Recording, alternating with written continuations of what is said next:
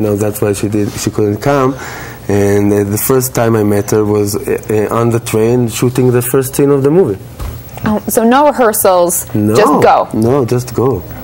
How was that as an actor? Were you nervous or did you instantly trust their direction? I trusted them 100%. And I'm not saying it only because I want to do another movie with them.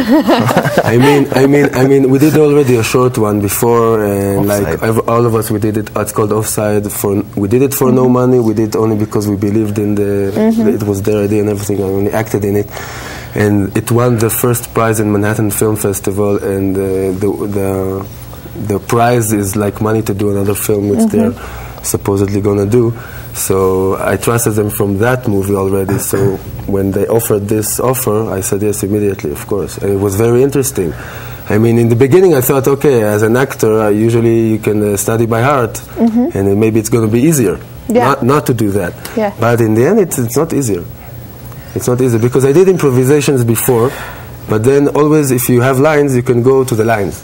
Here, there are no, you can you can't go anywhere. But they gave us uh, nice instructions. Sometimes they told Lubna something, and they, and they told me another thing. Yeah. And they uh, kind of manipulated us in a good way. I mean, and and it and it, it became uh, very interesting. So